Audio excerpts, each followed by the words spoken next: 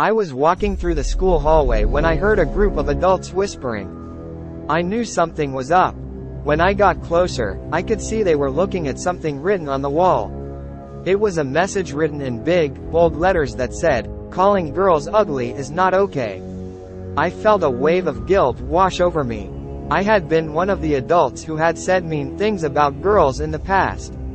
I had never said anything about a girl's looks, but I had said other mean things. I knew I had to do something. I quickly got out my phone and snapped a picture of the message. I then posted it on all my social media accounts with a message of my own. I wrote that I was sorry for the things I had said in the past and that everyone deserved to be treated with respect. I also wrote that I was going to start using my words to lift people up, not tear them down.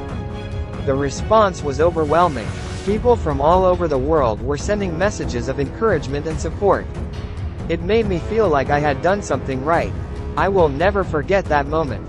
I had saved myself from a lifetime of regret by calling out the wrongs in my own behavior.